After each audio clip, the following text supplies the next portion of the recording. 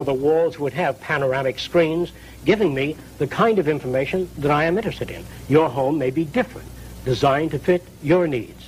The homes will Now, be molded. No one will pay the builder of the home. He will not receive money. No. Why will he build the home?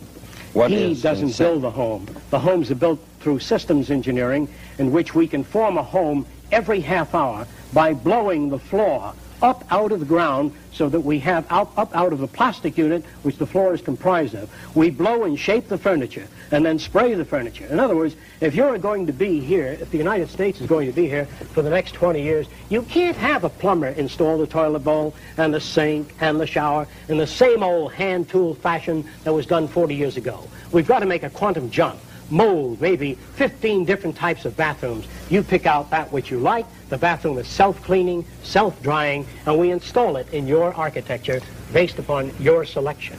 What? Uh, This house was 3D printed in a week, partly from waste, including material from old, demolished buildings. And this is the world's first 3D printed community. Two houses have already been printed, with 50 planned in total. They will be available to people living on less than $3 a day in a bid to fight homelessness. And the use of printed buildings is now being seen in Europe. Germany just certified a printed house under its national building regulations, paving the way for the planning of a whole 3D printed apartment block in Bavaria. This is all part of the fourth industrial revolution, which could bring some major upgrades to your future home and perhaps your body. This is from our sister channel, Digital Engine.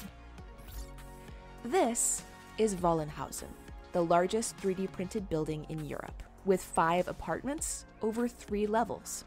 The printer that made this structure can be operated with just two people. It can print at up to a meter per second.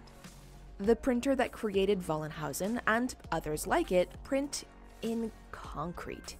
The Vulcan 2 3D printer takes just 24 hours to print a 200 meter house. This printer, called BOD 2, can print three story buildings.